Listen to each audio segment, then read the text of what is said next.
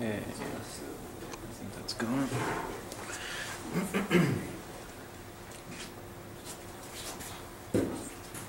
Okay, so I'm going to start off with just a general overview of the chant history, which is probably going to end up being broken into two sections. We'll probably get through half, the first half tonight and do the second half next Monday. We'll see how it goes. Um, but also, it's the first time I've ever done any kind of uh, presentation thing like this before, so go easy on me. um, Always like a big teacher. So, first of all,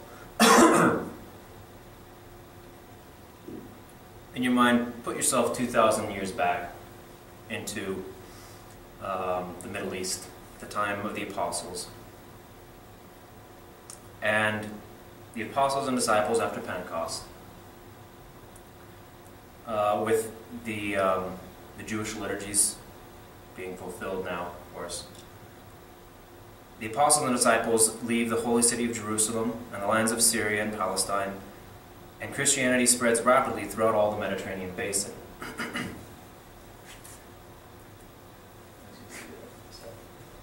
um, as the gospel spread, so too the practice of worship. Liturgy was being developed.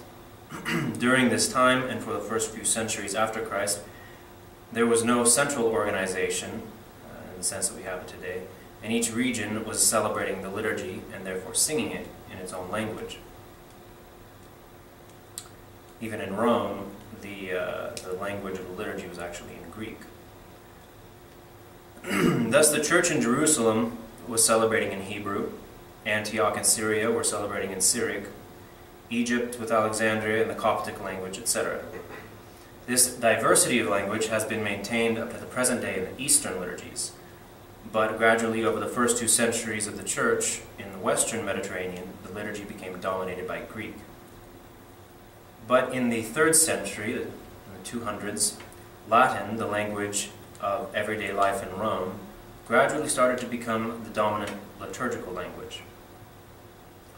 In the West, every region, every region began to have its own repertoire of Latin hymns and chants, but each with different texts and music according to their culture.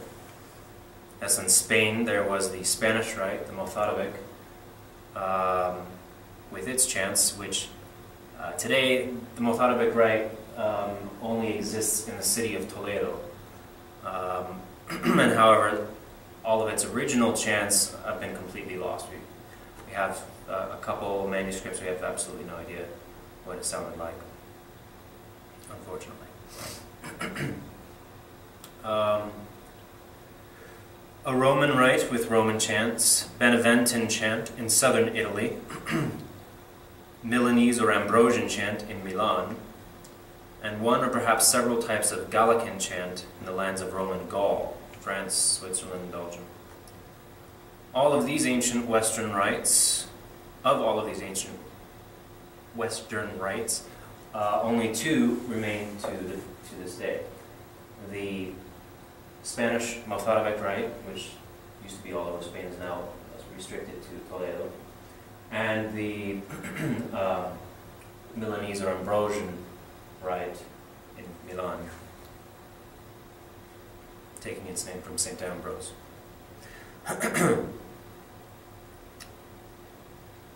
the Milanese or Ambrosian rite, we do have the chant from that, uh, and it remained, uh, the music of which remained unwritten until the 12th century. But there comes a question why sing? In ancient times, on a spiritual level, it was inconceivable to publicly proclaim the Word of God by merely speaking it. The divine Word of God was and is too holy to merely speak. It must be sung. Its dignity demands nothing less than this.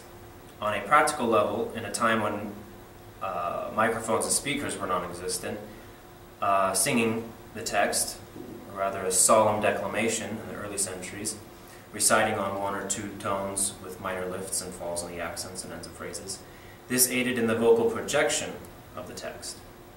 From an artistic view, it added an extra level of dignity beyond that of the spoken word.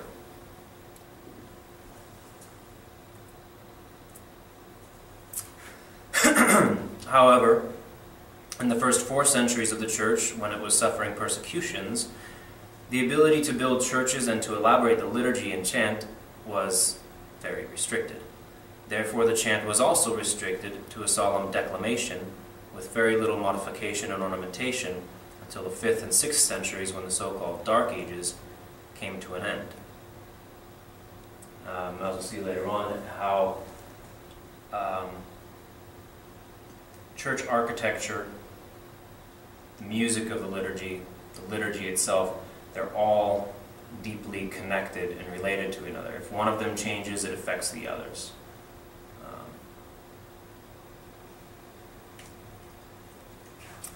Um,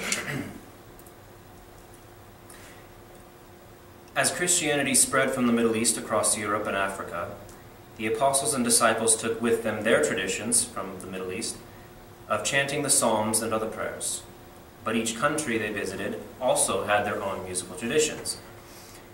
As these new apostolates were converted to Christianity, they would naturally sing the Psalms and other prayers according to their own musical traditions, no doubt affected to some small degree by the Middle Eastern traditions that the disciples brought with them. In Europe, a change from Greek to Latin would also naturally affect musical composition keeping in mind that musical notation does not exist in these early centuries. Everything is an oral tradition, everything's memorized. As for the ancient liturgy in Rome, we are well informed with how the liturgy was celebrated in these early centuries through various liturgical books such as the Sacramentary, which is um, the book for the celebrants containing the collects, prefaces, etc., throughout the year and other rubrical books of that time. Um, the chant, on the other hand, remains unknown to us until the 11th century. This is specifically the, the Roman chant, remains unknown until the 11th century when the first book of Roman chant appears because, like the Ambrosian chant and all others, it was passed on by oral transmission. Five books, dating from between the 11th and 13th centuries, have brought us the repertory as it was sung in certain Roman basilicas of that time. And even if there were any distortion or corruption, this must have been minimal because there are very few uh, variant readings between the five manuscripts. These sources make it possible for us to recapture to a large extent the tradition of the old Roman chant. This is the Pantheon in Rome. Originally built, of course, as a pagan temple for pagan liturgies, pagan chants, everything pagan. But then um, around the, I believe it was the 6th century or 7th century, it was turned over to the Christians and Catholics and has been a Catholic uh, church ever since. Um, in essence, the composition of the Roman repertory dates from the 5th to 6th centuries, so around the time that this was turned over to the Christians. Uh, not only had the church been free of persecution since the 4th century, but even the administrative structure of the Roman Empire seems to have been adopted by the church. The ending of the persecutions allowed for the freedom of public worship, which then led to the building of great basilicas, which called for a more elegant and elaborate liturgy, which called for more ornate music. The evolution and elaboration of any one of these affects the others as well.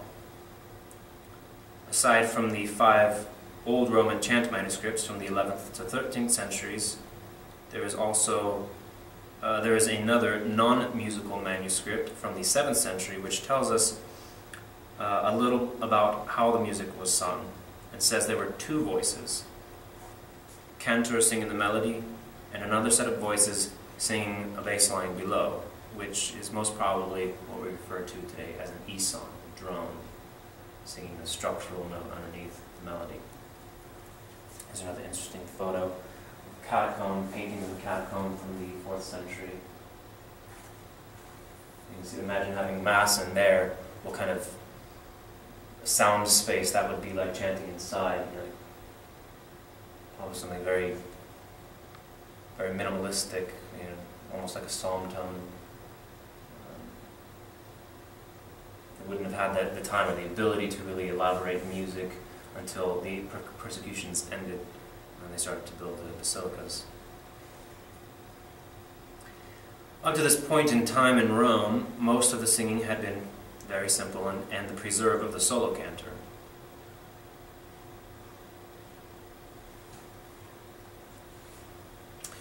Um, but now appears the first Schola Cantorum, perhaps established by Pope St. Gregory the Great in the 6th century, and is a group of about 20 clergy, experienced cantors and young pupils in training, who would place their competence at the service of liturgical celebration.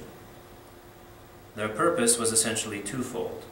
One, to lessen the amount of singing of the priest in order that he could devote more time to administering to the faithful. Two, to use their musical skills and competency to further, to further develop the musical repertoire.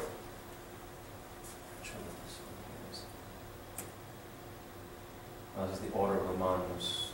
This is what uh, the um, the manuscript tells us somewhat about uh, how the music was sung at that time. I think that's that's the one. It's kind of hard when the uh, when the presentation is separated from my notes. Can tell which which one does this pertain to. um, so the schola's purposes again were to lessen the amount of singing of the priest in order that he could devote more time to administering to the faithful, and two, to use their musical skills and competency to further develop the musical repertoire in the 6th century, 500s. Between the 6th and 7th centuries, this specialized group of musicians developed a repertoire of sacred music made up of two categories of pieces. The first was a revision of the existing repertoire. From then on, the schola was to replace the solo cantor for the performance of certain pieces or parts of chants, but would now be given by the schola a more elaborate style and, stru- and a structure of greater complexity. For example, the introits, communions, the antiphons of the graduals, alleluias, and offertories, originally sung by a solo cantor, would now be sung by the schola, but the verses of the graduals, alleluias, and offertories would remain reserved for the soloist. The second category was the composition of fresh chants, linked to the development of the spacious basilicas, which likewise demanded a more elaborate liturgy, which demanded a more elaborate chant, etc. Each aspect, architecture, liturgy, music, affects the other developing together. One example of this second category of fresh chants would have been the chant for a development in the, in the liturgy. So as the liturgy develops, they have this new element in the liturgy, and they need a new chant to accompany it. And that is a dramatic procession in the newly constructed basilicas during the solemn entry of the celebrant, the introit, which is Latin for entrance. However, this processional entrance was much more than it is today. Today we go from the sacristy around the church to the, to the front of the church and process down the main aisle, which is an extremely condensed version of the original procession, which was processing from St. John Lateran's a mile down the road to St. Mary Major's. We do this on you know, very festive occasions. And as they arrive at St. Mary Major's, and as they enter the church, there would be the introit along the way um, during the procession, you know, singing litanies and psalms and etc. But as they enter, the introit.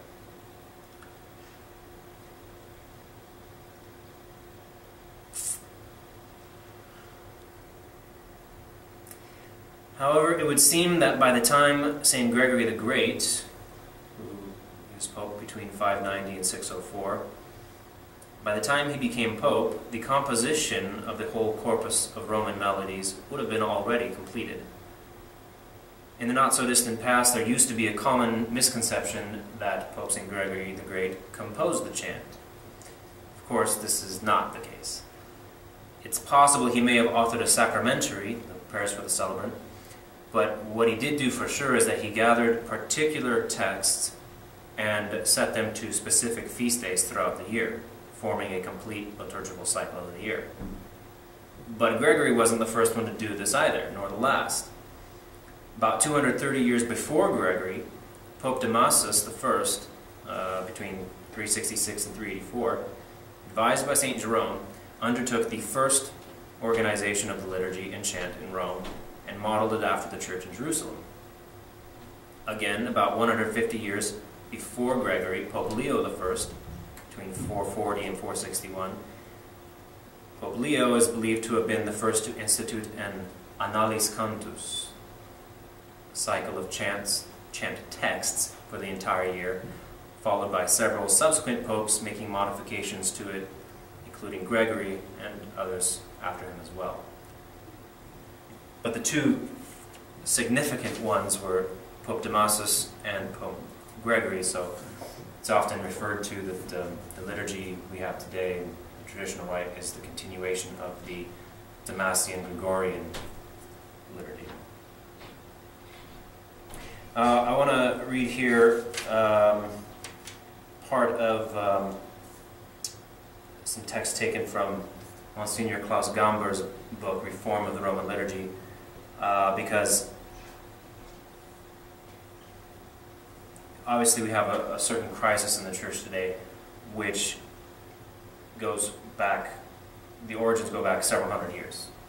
Uh, and um, what happens to the liturgy happens to the music, and what happens to the uh, buildings affects the others. So in the 8th century, um, actually, you know what? I'll get to this in just a second. So I'm going to continue with, with uh, this here. Um, during the second half of the 8th century, a rapprochement was beginning to take place between the Frankish kingdom of, looks like Pepin, pronounced Pepin, Pepin, Pepin the Short, he was called Pepin the Short, and his son Charlemagne, uh, and the papacy of Stephen II and his successors. This rapprochement was at first political. The papal estates in Italy were being threatened by the Germanic Lombards, and Pepin was anxious to ensure the legitimacy of his right to the throne of Gaul, France, Switzerland, Belgium. Uh, Pepin promised to protect the papal estates, and Pope Stephen II came to France with his court, renewed the consecration as king of the Franks, and made a long stay at the Abbey of Saint Denis, just on the north border of Paris. Oh, yeah. So this is the, the Church of Saint Pierre aux Nonnains. Oh, I can pronounce that. Um, originally constructed in the 4th century, uh, had some restoration in the 7th, and then the latest addition on this was in the 11th century. But this is probably what the, um, the original um, facility of Saint, uh, uh, Saint Denis looked like at that time in the, in the uh, 7th, 8th century, the 700s um, something similar in size and shape. What, what we have today, uh, after it was demolished, it was rebuilt into this Gothic cathedral, which is the, the, the really the, the first uh, Gothic cathedral that inspired all of the other uh, Gothic architecture. Chris, Mm -hmm. when was the church demolished? Um, that was built in the 13th century, so probably in the 1100s. I'm guessing. I, I don't know yet. I haven't looked that up, but I don't know exactly.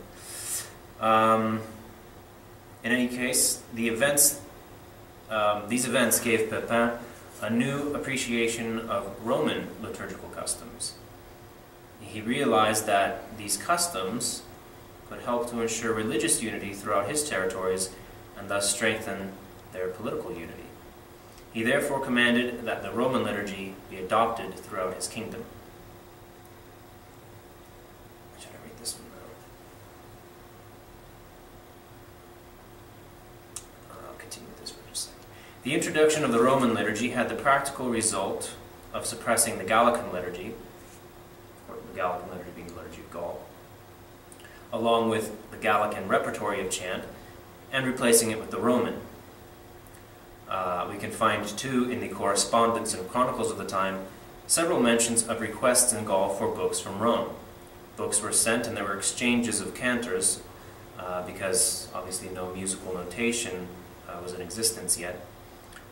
The best that could be done was to send books along with cantors um, to teach them books with the text, and then the cantors to help teach them the, the, the melodies. But no written account has come down to us of what exactly happened at that moment in the middle of the 700s in Frankish Gaul between the Seine and the Rhine rivers. However, liturgists and musicologists have compared the 11th to 13th century Old Roman chant manuscripts with the 9th to 11th century Gregorian ones. Their conclusions lead to the following hypothesis, which seems highly probable. At the time of the encounter between the Gallican and the Roman repertories, some kind of cross fertilization happened. It was a simple matter to impose the texts of the Roman chants, since they were contained in the books, it's quite a different matter when it comes to the melodies. Two different cultures, two completely different styles of music tradition. The overall style of the Roman chant, including its modal structure, the main structural points, principal cadences, important recitations, vocalizations, this, the fundamental of the Roman chant was in general accepted by the Gallican musicians. But Gal the Gallicans, the Gauls, covered it over with a completely different style of ornamentation, the style that they were accustomed to. In other words, instead of a simple replacement of one by the other, the result was a hybrid that might be formulated as the following equation. Gallican plus Roman equals Gallican Roman, or Frankish Roman. A large part of the repertory shows that the Old Roman and the Frankish Roman pieces are in fact very similar. Examples can be between um, the introit for Easter Sunday, Resurrexi. Uh, both the Gregorian and the Old Roman are very similar, uh, as well the, the gradual Haec Dies. Um, the Alleluia, oh, what is it, the Alleluia from Christmas Day, I believe, uh, Dies Sanctificatus melody, very similar. Um, I'll play that. I'll play a recording of one of those for you in just a second. I want to go ahead and read this part here from Klaus Gamber. He says, again, this is the 8th century. Because of the political developments in the 8th century, the liturgy of St. Gregory, which had been designed specifically for use in the churches of Rome, became the standard of liturgical worship in many other parts of the Western world, namely Gaul, because they wanted to impose the Roman liturgy, which was intended for Rome itself, and they wanted to put it all over Gaul. The Gallican rite was suppressed. The adoption by the Franks of the liturgy designed for use in Rome was a source of steadily recurring problems. The foreign Roman rite was grafted onto existing local liturgical traditions of many cities and villages. The process was never entirely successful, and there lies a great tragedy.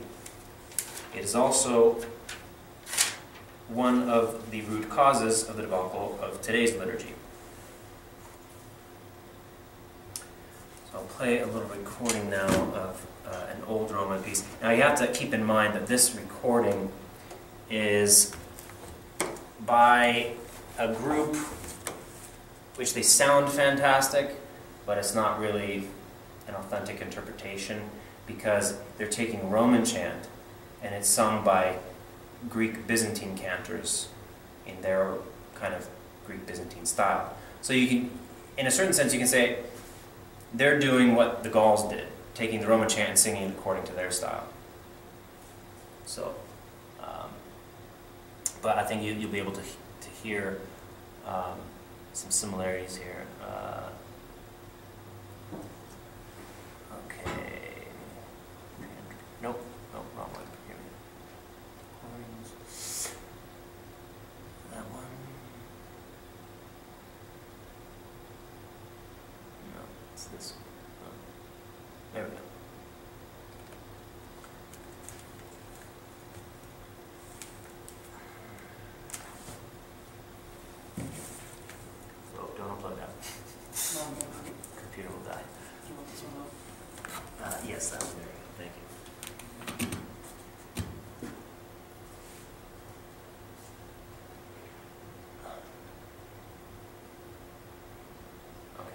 So, I'll play this real quick and then I'll sing you the Gregorian version of it so you can hear the similarities.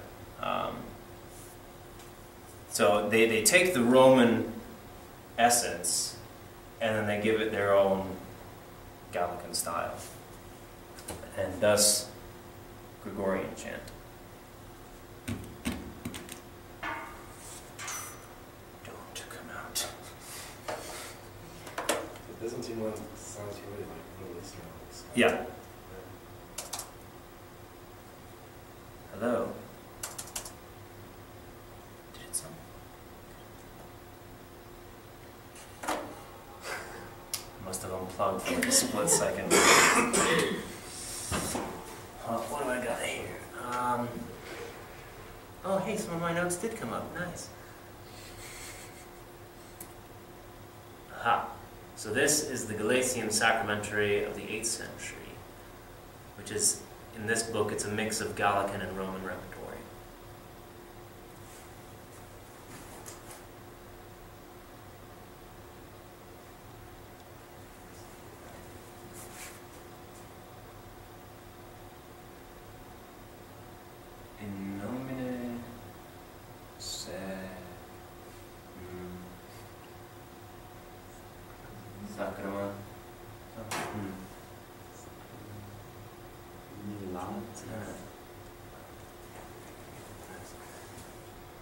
Texas is too small there. Okay, now that my computer's rebooted again, just like back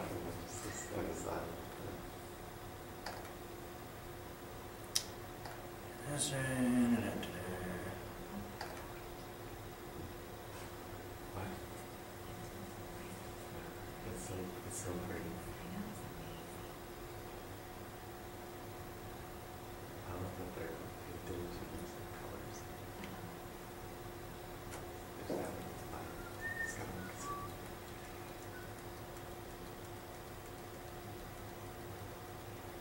someday I'll, I'll love that career. Okay.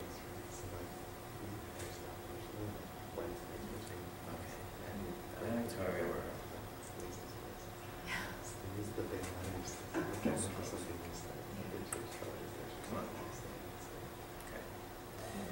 Where were we? Okay, so now to the Tonary of Saint Riquier. Not sure if there's an English equivalent to the name Riquier, maybe um, the most ancient musical witness to this cross fertilization goes back to the end of the 8th century, the end of the 700s, to the Tonary of Saint Riquier, which simply indicates the first words and the mode of a few pieces in the new style of chant. An entire century would pass before chant books containing musical notation would appear. Okay. Uh, there's the Tonary Riquier. You see. Um, I guess in this photo it doesn't. This photo doesn't give the. Um,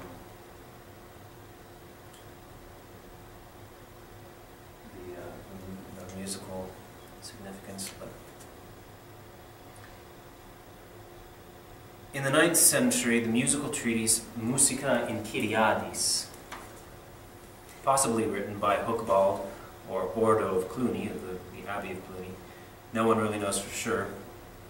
Um, this contains the first piece of polyphony known in the West. It's from a sequence, and it lists the first theoretic requirements for music in more than one part. However, this treatise is not creating something new, but merely explaining musical rules and theories which had already been in existence in this region for quite some time.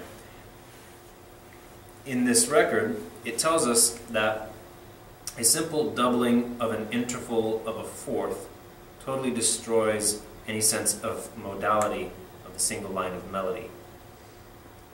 It says it must be an interval of a fifth. Whereas the performers must avoid at all costs the temptation to slow down in order to keep the parts together, which spells utter ruin to the flexibility of its rhythm. For an example of what the uh, this organum, as it's called, this doubling of a fifth, what, what it sounds like, um, a wonderful recording by Dominique Vellard and his his choir Ensemble Gilles Binchois. Gilles Binchois was a composer in the beginning of the 1400s. And this is this is a recording of the introit Gaudeamus.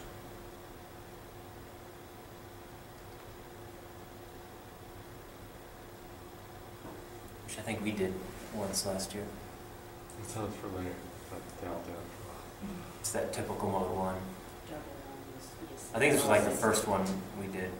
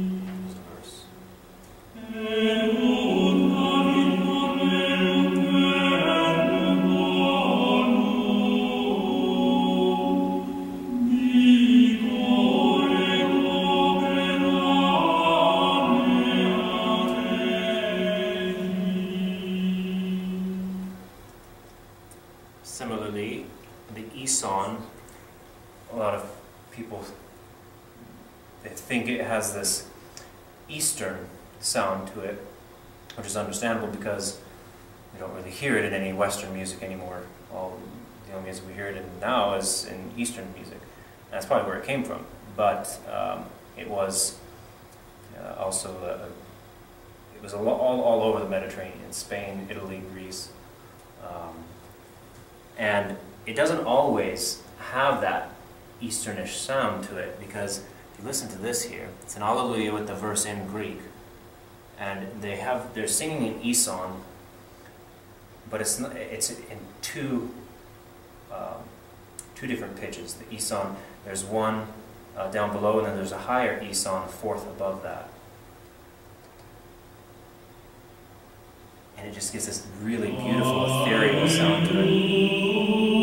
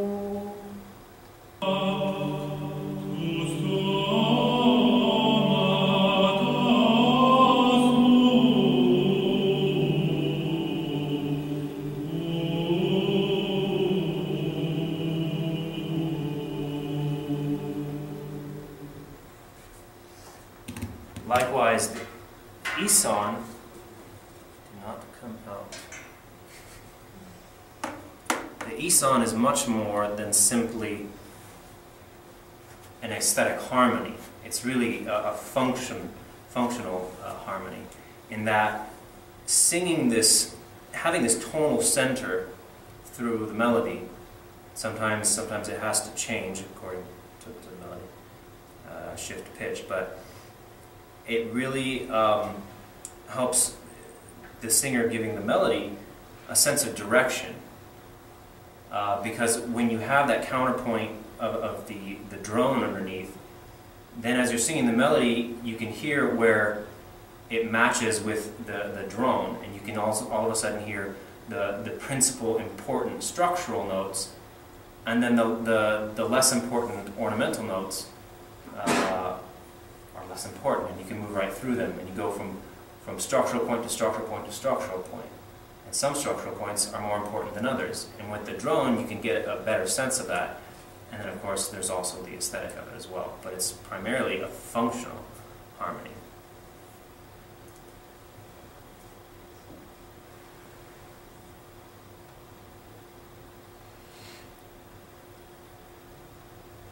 Like all of the most uh, ancient liturgical chants, the new Frankish Roman chant repertory was born of the oral tradition and uh, can be clearly demonstrated by internal analysis.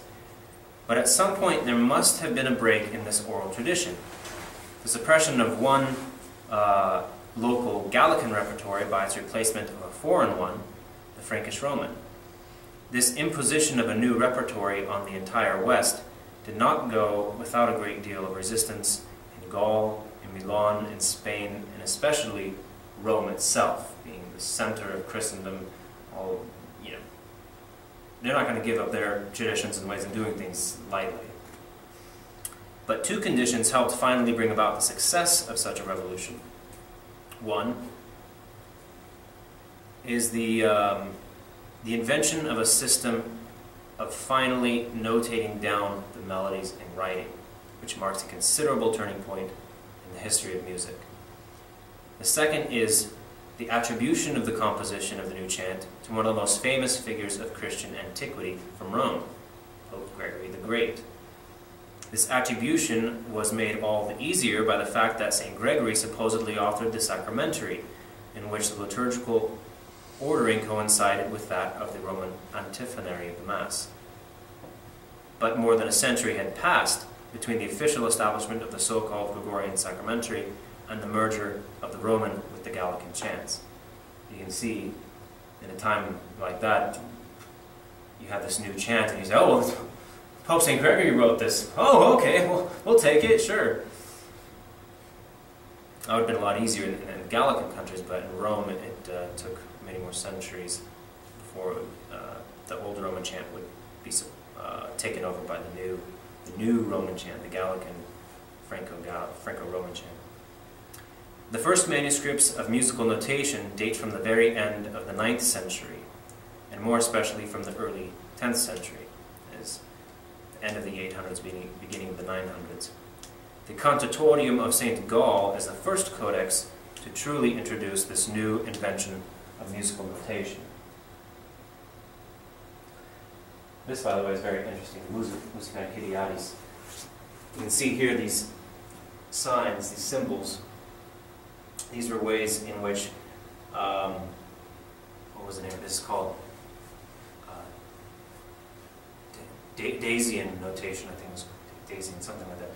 And they would uh, indicate the the pitches of the music by simply rotating them 90 degrees, uh, putting them in different orders and rotating them, uh, and that would tell you a different tone, essentially. And this is the um, uh, polyphony in two parts. Rex Celi Domine uh, Mari Maris Undi Somni Maris um, and he, so we got pitches going up here. I we did we did this uh, a few months ago, but um, if we have more time, we could actually do that in one of these practices.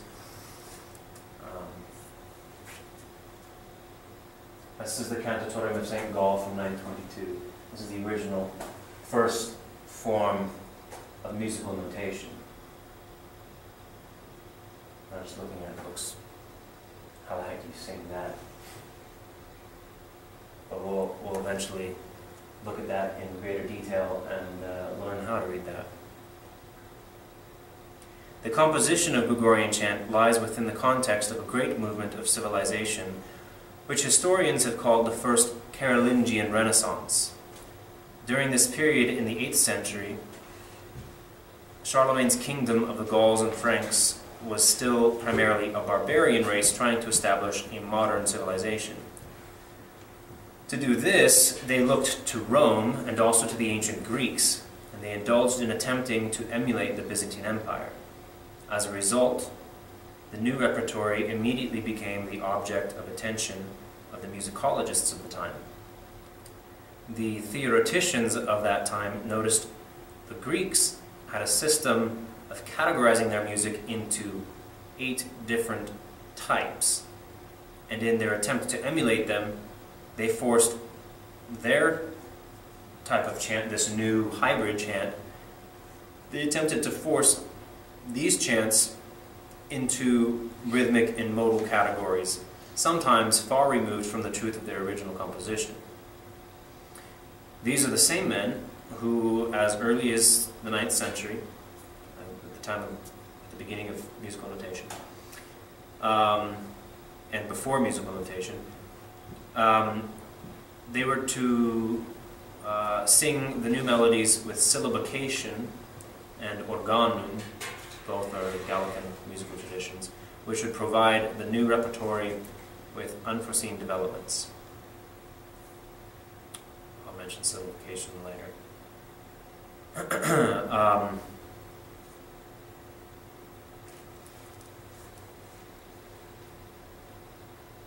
here's another page. This is from the Cathedral of Laon, by the way. Cant- Cantatorium of St. Gall is from the Benedictine Abbey of St. Gall, St. Gallen in Switzerland. This is from the Cathedral of Laon in the northern part of France, which has a completely different style of notation.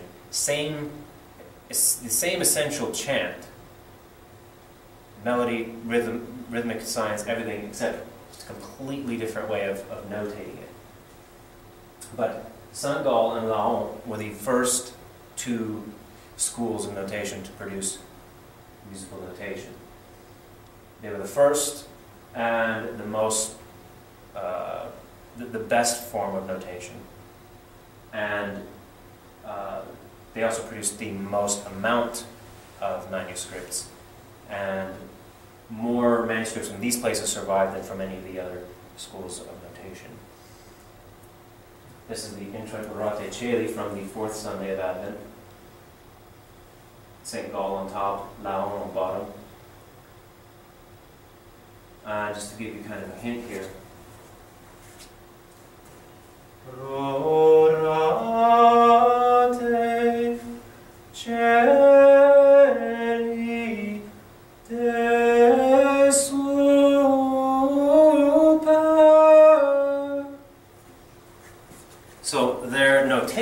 was simply, at least for St. Gallen anyway, um,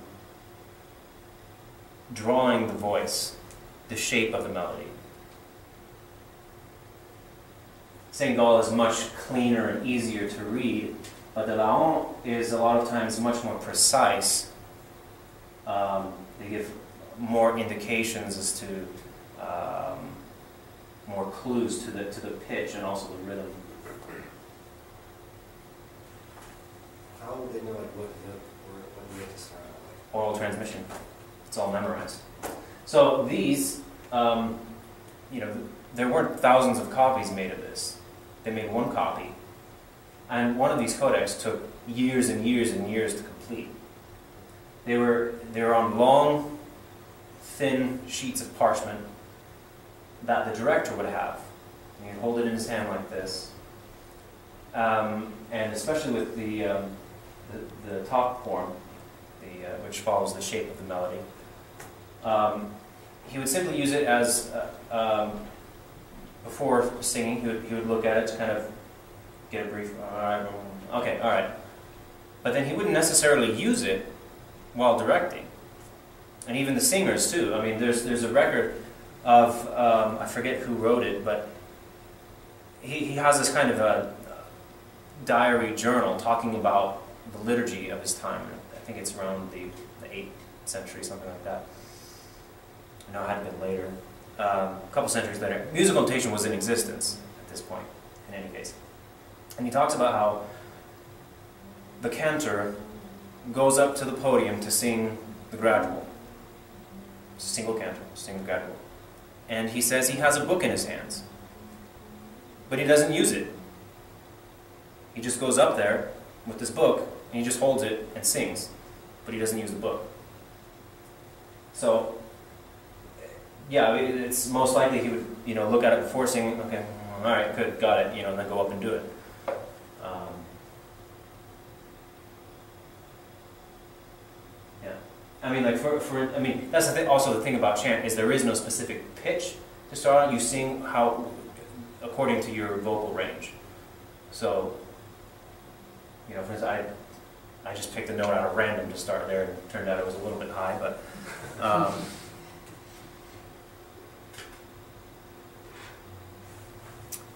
um, where did I leave off? There we go. Okay, so seen from the musical point of view. Actually, I got a couple more here. So, this one is from uh, Montpanon, which is in, I think it's the south of France, the southeast of France, 10th century. Also another completely different form of notation. Montpellier, I think that's south of France as well. Here, this, this is a little bit more accurate to pitch because I think it's easier to see in this one. You have all the squiggly line notation like in the others, but then you also have this, letters. The letters are representations of pitch. Now, the D, the E, and the D, not necessarily the pitch of D and E as we think of them today, but it was a certain pitch to them. And uh, if you know what a diatonic scale is, it fits within the diatonic scale. So that helped them give them a better idea as to the actual pitch.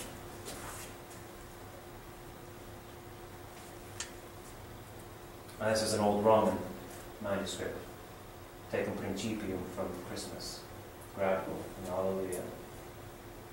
12th century, The manuscript was written in the 12th century, but the chant is more from the 5th and 6th century, finally being written down.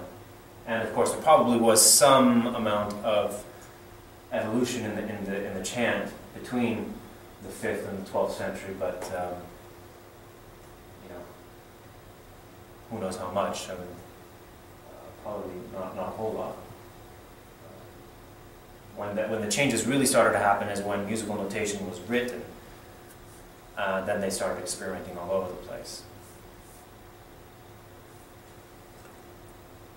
This is from Benevento, Italy. Uh, and French antiphonary, 13th century. So now you can see. This is another thing I wanted to point out. And see here, there's no staff lines. There's no staff lines. In the Old Roman now, they have one line. And this helps to give uh, a better relation of, of pitch dispersing over the uh, above and below the lines. And usually the line would represent one of either the do or the fa, because right below each of those is a half step. So at first there was one line, then later two lines, and then eventually, you can see here, four lines. One, two, three, four. And square notation. Kind of merging towards square notation there, getting more blockish, and then eventually they become square notes altogether.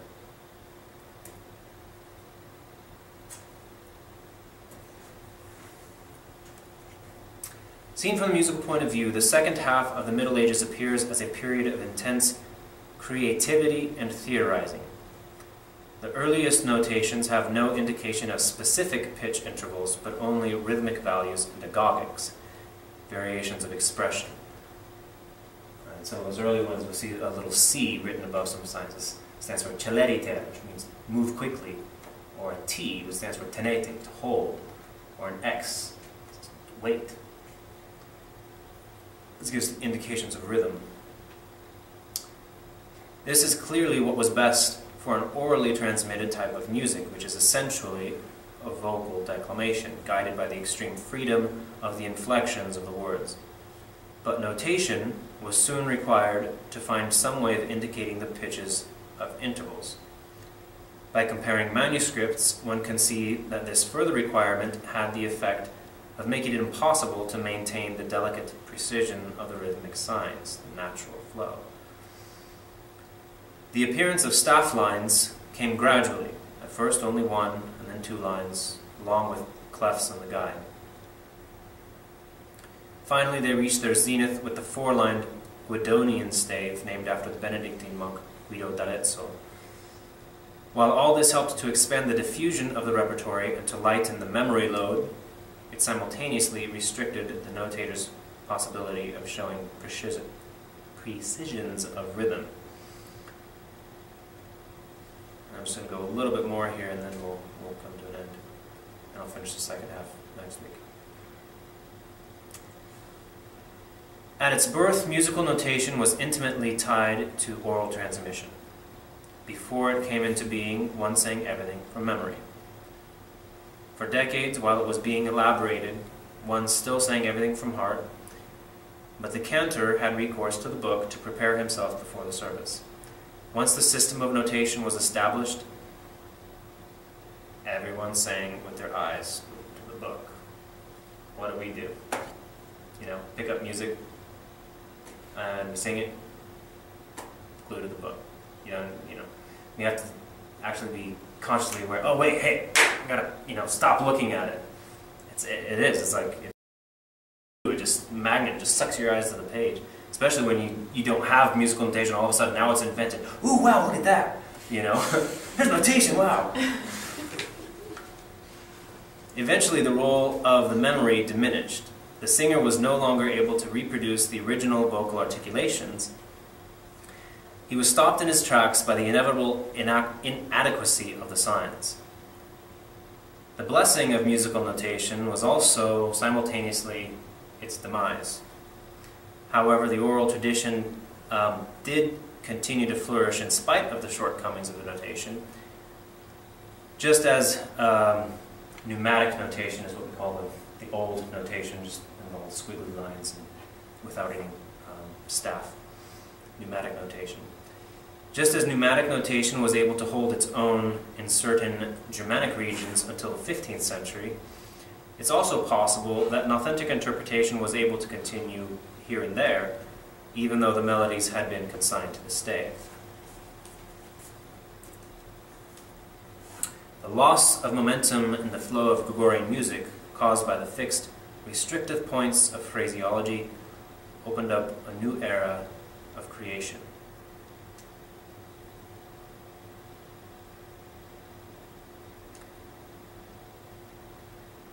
Mm, where am I going to go to? Okay, I'll go to. I'll just go right there. I got two more paragraphs, and then we'll come to an end. Come to an end right before going into the subject of the decadence. and That's what we'll pick up next week. Um, about the middle of the 10th century, the Roman liturgy began to return from the Franco Germanic lands to Italy and to Rome, but it was a liturgy which had undergone radical changes and development.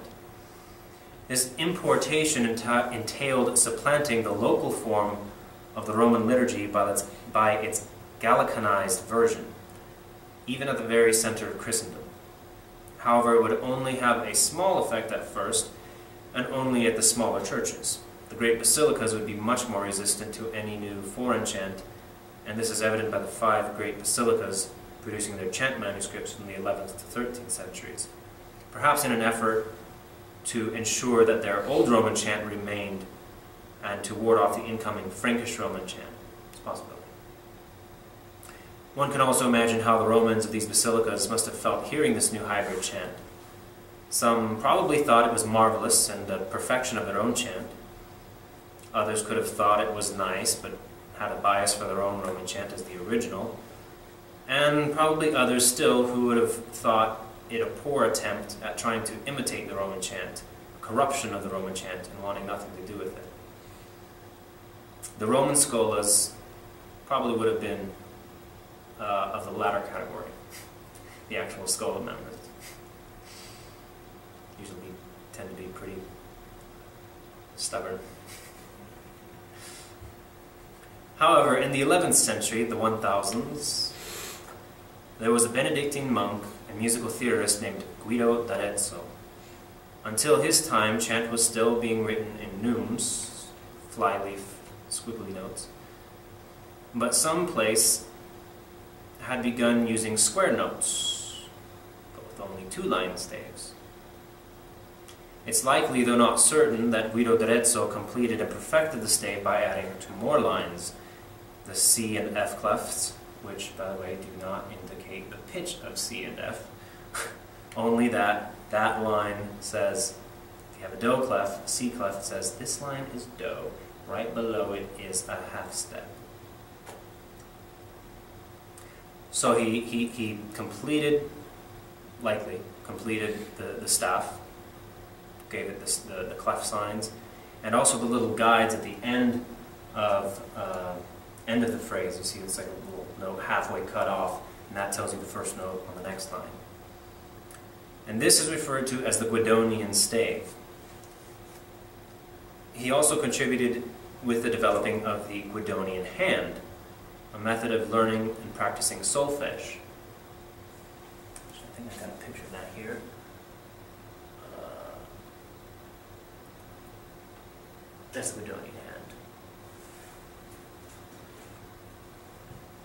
So, the uh, do, re, do, re, mi, fa, sol, la. I forget how it goes. Learned it at one time and then forgot it. um, and then he also, likely, it's not entirely certain, but most likely, um, came up with the names for the scale. Do, re, mi, fa, sol, la, ti, do. Except do was originally ut. Ut, re, mi, fa, sol, and la. It only went to la. There was no T. T was originally C, and I'll show you why. It comes from a hymn from the Feast of St. John the Baptist. Ut queant laxis. is on the degree of the scale of which do is. Ut queant laxis Re, do, re is on the degree of the scale, re. Uh, so say the second degree of the scale. The third degree of the scale, which is mi, is nira. The fourth degree, fa, is famuli. Tuorum, sol ve voluti, la vi reatum, and then Sante Ioannes, S-I, is what creates C. Where we get the C from. Utque ant laxis resonare fibris mira gestorum famuli tuorum solve polluti labireatum sancte Ioannes. And C, the, that degree of the scale, C, um, I think came centuries later. Uh, can't quite remember. I think it came in the like 1700s when they when they made the, the C part. Um, and then um, and then later it was uh, changed to T. Ut, re, mi, fa, sol, la, si. And actually, in some uh, in France and Switzerland, one a lot of schools still still teach the scale according to that ut, re, mi, fa, sol, la. When did it become do? Oh, uh, do. Um, uh, I can't remember off the top of my head, but yeah.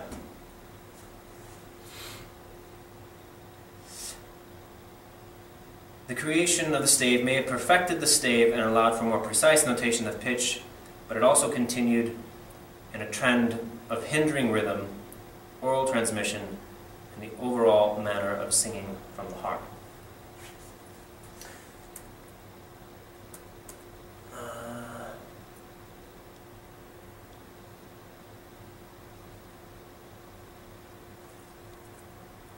All right, I don't know why this is placed in this position, but there.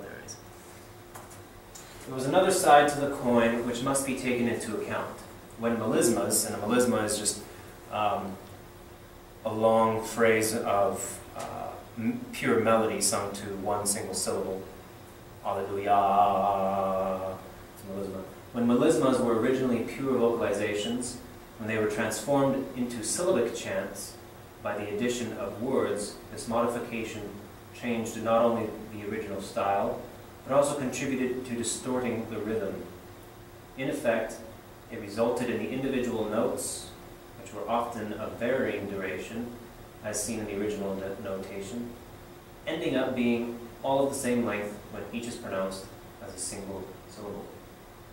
Dom Cardine, who I'll mention next week. Um, example of that, what he means when he says uh, transforming it into syllabic chants. Taking something such as um,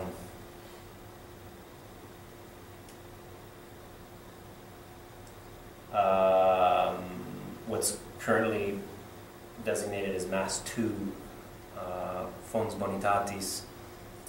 Um, the reason why it's called Fons Bonitatis is because of the, the syllabification of the Kyrie. Kyrie.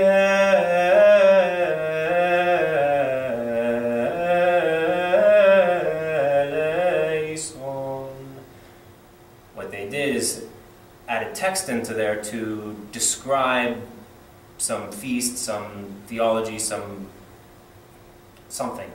Um, and what they did is it went from being a melisma to Kyrie fons bonitatis pater ingenite blah blah blah blah blah blah blah blah blah eleison. And when you put in all the words like that, then all of a sudden you lose the, the varying degrees of, of rhythm.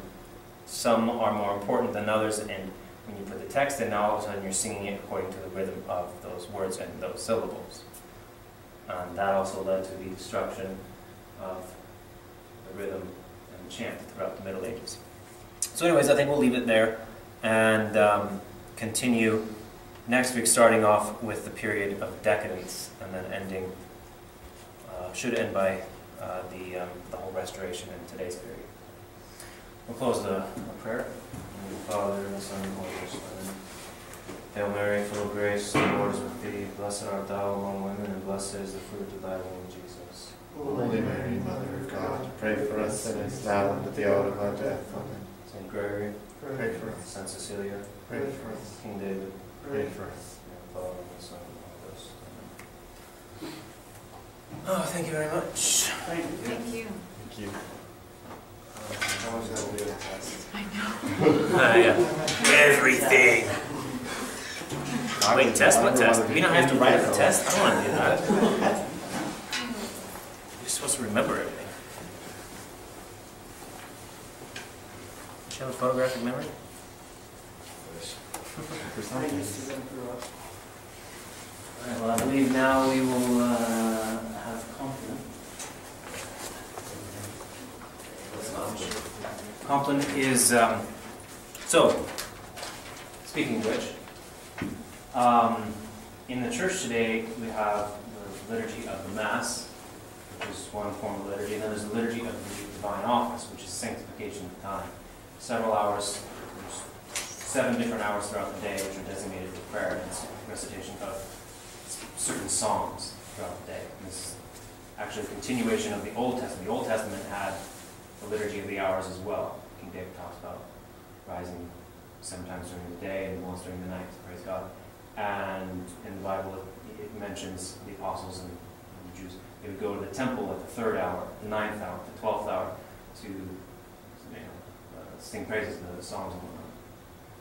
And so that continued into the New Testament, but now the Old Testament being fulfilled, it took on a different character. And in the uh, sixth century, no, fifth century, Saint Benedict was four or five hundreds. Five hundreds, So sixth century, Saint Benedict, who started the Benedictine order of monks, he um, he really kind of um, uh, established the current form of the divine office that we have today. And throughout the centuries, it had minor changes and whatnot, but he, kind of assembled it in the way we currently have it today. So Compline is the, the night prayer, singing the Psalms um, before going to bed. And then if you live in a monastery, you get up at like three, or four in the morning, sing matins. yeah. So, um, get all Four this eight. together. Sorry. I'm looking it up for, what's that? The year four. Four eighty. Four eighty. Is when he's born, When he's so. Okay. So, I guess it was both fifth and sixth There century.